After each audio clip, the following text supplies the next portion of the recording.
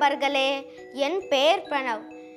இன்னைக்கு நான் ஒரு கதை சொல்ல போகிறேன் கதையின் தலைப்பு மீனுவும் அவள் கூந்தலும்.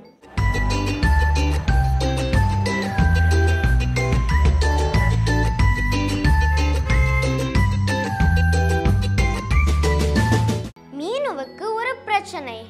அவள் கூந்தல் தான் அவளின் பிரச்சனை. அவள் அம்மா அதை சீவி பார்த்தாள். அவள் அப்பா அதை வெட்டி பார்த்தாள். அவள் பாட்டி அதில் எண்ணெய் தடவ பார்த்தாள். ஆனால் ஒருவருக்கு மட்டும் இவை யாவும் எந்த பாதிப்பையும் ஏற்படுத்தவில்லை. அவர்தான் அவளின் தாத்தா.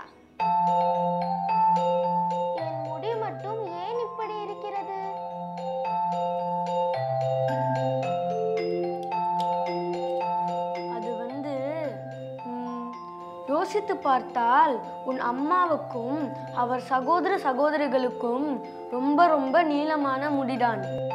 ஆனால் உன் தந்தைக்கும் அவர் சகோதர சகோதரிகளுக்கும் ரொம்ப ரொம்ப சுருட்டை முடிதான்.